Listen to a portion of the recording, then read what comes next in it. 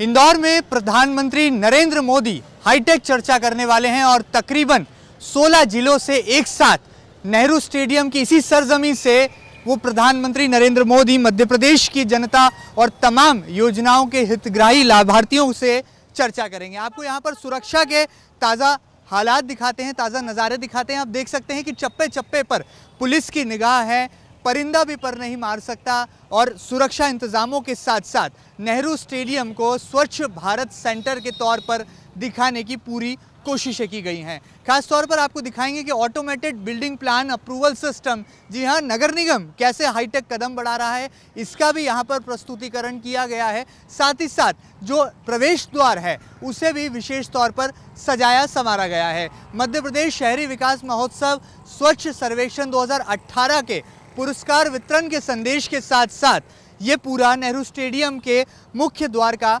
नज़ारा है, जो सीधे आप फ़िलहाल एमपी न्यूज़ पर देख पा रहे हैं। साथ ही साथ आपको बता दें कि वो जनता, जो कि प्रधानमंत्री नरेंद्र मोदी को देखना सुनना चाहती है, वो भी बड़ी सहूलियत सुविधा के साथ नेहरू स्टेडियम पहुँच सकती है। हालाँकि कार्यक्रम तीन पैंतालीस पर शुरू होगा, लेकिन अभी से भारतीय जनता पार्टी के कार्यकर्ता और तमाम सरकारी योजनाओं के लाभार्थियों के पहुँचने का सिलसिला नेहरू स्टेडियम परिसर के मुख्य द्वार पर शुरू हो चला है। फ़िलहाल पुलिस की हवाई निगरानी यानी कि ड्रोन कैमरों से निगरानी भी शुरू हो गई है और तमाम सुरक्षा जाँच के बाद ही एक आम आदमी नेहरू स्टेडियम में प्रवेश पा पा रहा है। देखने वाली बात होगी कि इस हाईटेक चर्चा में नरेंद्र मोदी किस तरह से स्वच्छ भारत का एक बड़ा पैगाम यहाँ पर जनता जनार्दन को देते हैं और किस तरह से तमाम योजनाओं के लाभार्थियों से वो यहाँ पर हाईटेक अंदाज में चर्चा करते हैं। इंदौर की सरजमी से नेहरू स्टेडियम के बाहर से कैमरा पर्सन अरुण यादव के साथ महेंद्र सिंह एमपी न्यूज़ इंदौर।